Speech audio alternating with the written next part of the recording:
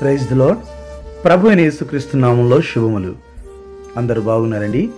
నేటి దిన అనుదిన ఆహార నిమిత్తమై దేవుని కాపుదల.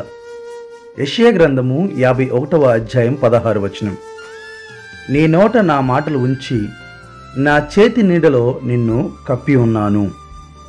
ప్రియమైన దేవుని బిడ్డరా దేవుని కాపుదల మనకి ఎంతైనా అవసరం. దేవుని కాపుదల లేకుండా మనం ఏ పని కూడా చేయలేం.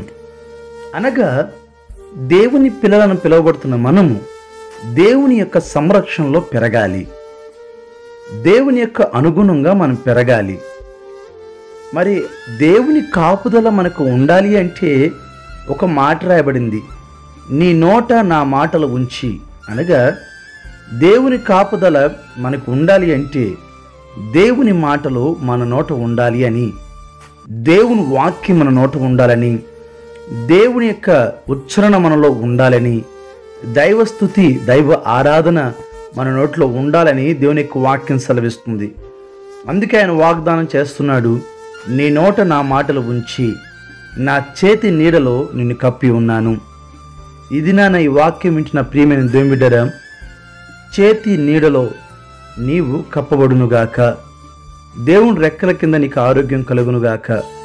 ఈ మాటలు వింటున్న మిమ్మును మీ కుటుంబాలను దేవుడు కాచి కాపాడునుగాక. ఆమెన్. ప్రార్థన. కాపుదలు ఇస్తానని చెప్పిన దేవా నీ కొందనాలు.